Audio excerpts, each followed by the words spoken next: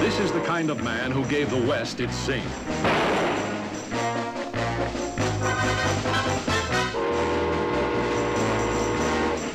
He had a gun and knew how to use it to make a fortune. He had a horse and knew how to ride it for thrills. He had a woman and knew just how to treat her.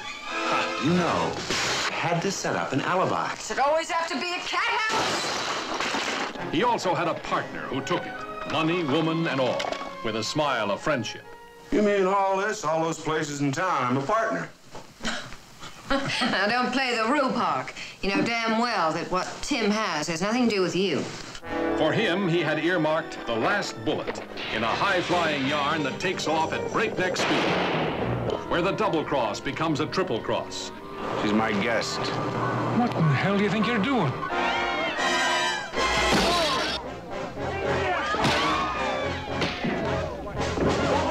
It's over a hundred thousand. If I said I wasn't interested, you'd know I was lying. There's a shipment of Chinese gold to connive over. Well, Mr. Chang, The gold for shipment is not stored in the mine. It's up to him to tell us where it's at. good lord, man. Do You value your gold above your life.